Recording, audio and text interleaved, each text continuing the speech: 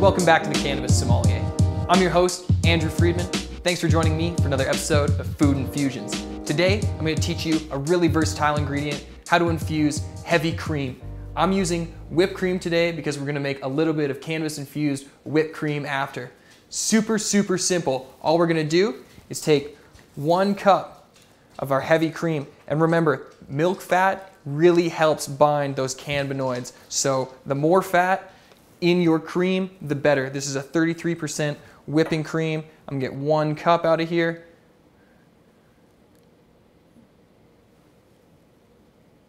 Perfect.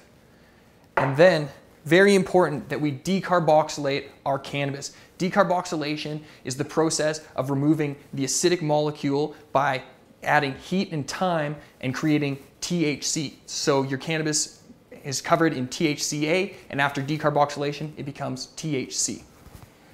I'm using the Ardent Lift. It's a computer operated machine that perfectly decarboxylates my cannabis. Awesome, check them out. So I'm gonna add everything to a double boiler. So I'll add my one cup of cream to a bowl that I can add over top of boiling water. And then my eighth of cannabis straight in.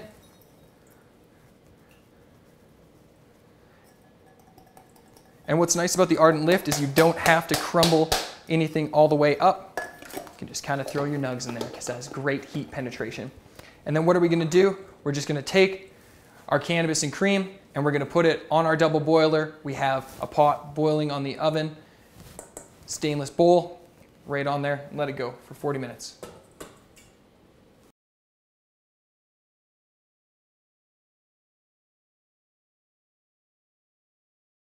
All right, so it's been 40 minutes of our cream and cannabis on the double boiler. It should be enough time for all that wonderful THC and CBD to attach itself to the fats in the cream. We'll take it off the double boiler, make sure it's not too hot. There's a little bit of skim on top, but that should be fine when we strain it through. And I'm just gonna strain it right back into my measuring cup. We can see if there was any loss, and we really don't wanna press this very much because I don't wanna extract any chlorophyll out of it.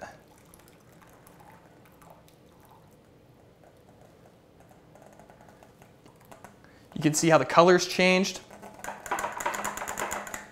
Beautiful.